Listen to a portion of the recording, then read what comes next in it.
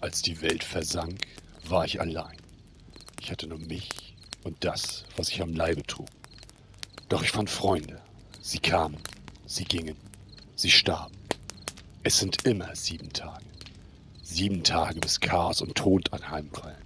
Sieben Tage, bis Überleben das Einzige ist, das bleibt. Sieben Tage, bis Furcht und Instinkt miteinander ringend vergehen. Nichts ist mehr so, wie es einst war. Und doch sitze ich heute hier und erzähle euch meine Geschichte.